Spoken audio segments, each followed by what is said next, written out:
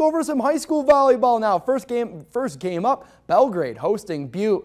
And early on, the Bulldogs were attacking off the set. Emma Field finds some open space and nabs the point. And then more from Field this time around. She's going to fire off an absolute laser of a kill. Butte High, they're rolling early on. Still in the first set now, Belgrade showing some signs of life. Kami Gurel puts this in the perfect spot. No return there. Then how about Hazel Eaton putting this one into some open space as well. Point Panthers, but Butte, they're just too strong. Kira Mortensen is going to come up over the net, grab the point there. Bulldogs take the set and the match in three straight sets.